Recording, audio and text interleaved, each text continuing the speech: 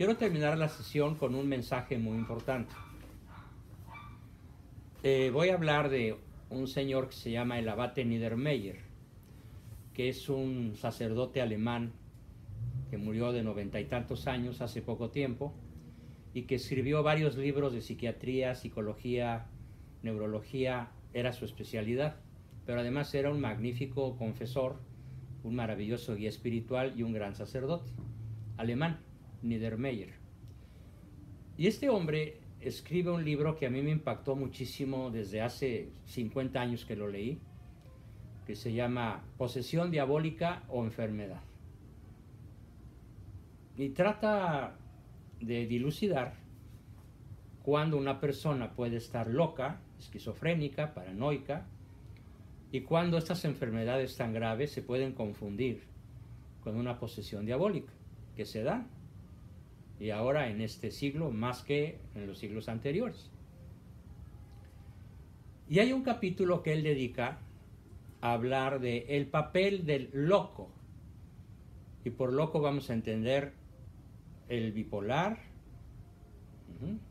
el depresivo profundo, el drogadicto severo, el alcohólico irredimible, el esquizofrénico, el débil mental necio, el estúpido, no en términos de insultos, sino de entidad psiquiátrica, de todas las personas que tienen una pérdida notable de salud mental y que se pueden meter todas en un paquete de locura, por simplificarlo con lenguaje popular, él se pregunta, ¿cuál es el papel del loco en el mundo?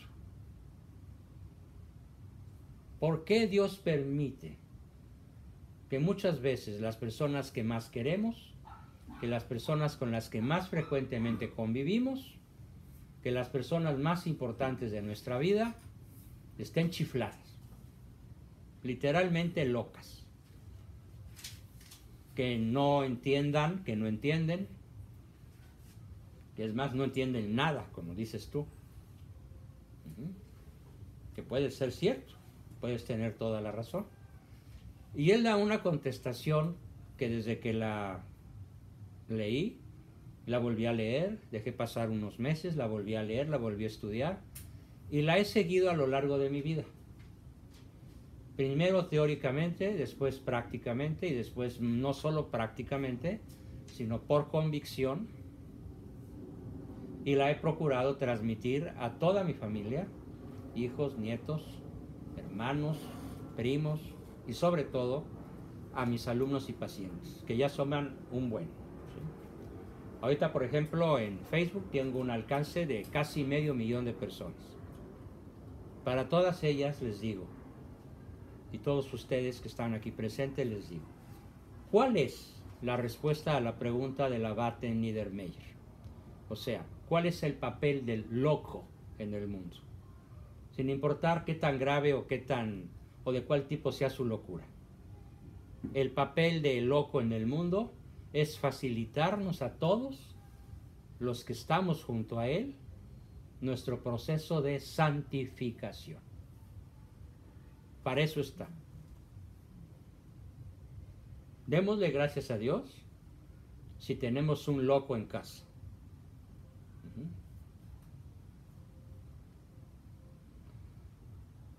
No es fácil asumirlo. No es, como lo dijo Cuauhtémoc, con los pies ardiendo. No estoy en un lecho de rosas. Puede ser tremendamente difícil. Pero finalmente es la respuesta más contundente que yo he encontrado en cualquier psiquiatra, neurólogo, psicólogo, católico, coherente, da una respuesta muy profunda, muy amplia que se reduce a esto el papel que él está jugando en tu vida sin saberlo es contribuir a tu salvación eterna en la medida en la cual seas capaz, ojo, de practicar con esa persona tan insufrible, tan loca, tan incomprensible, tan malvada, tan echada a perder en muchas cosas, en la medida en la que con él en especial seas capaz de vivir en grado heroico las virtudes cristianas.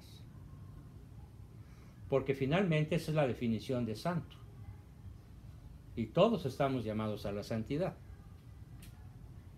Santo es el individuo, el ser humano, que vive las virtudes cristianas en grado heroico.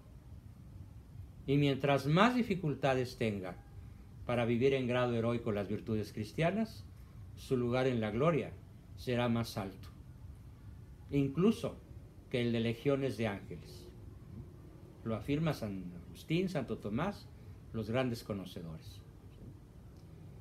Bien, pues esa es la, la, gran tesis porque yo sé que algunos de ustedes tienen dificultades prácticas todos los días porque escogieron mal o les tocó bailar con la más fea. y piensen esto. ¿Cuál es el papel de esa persona desquiciante? Santificar. Practicar con él en grado heroico las virtudes cristianas. Claro que para eso tenemos que recurrir a la gracia. Sacrificio, oración, penitencia, sacramentos, misa, Eucaristía. Porque sin todo eso no somos capaces de realizar un solo acto bueno en orden a nuestra salvación eterna. Bueno, pues muchísimas gracias por su maravillosa atención y a echarle ganas al partido, ¿no? Para cantar victoria. Gracias. Porque aunque la victoria final de Cristo está garantizada, hay una victoria que no está garantizada. ¿Cuál? La salvación. La nuestra. Una pregunta. Sí. Porque la, hay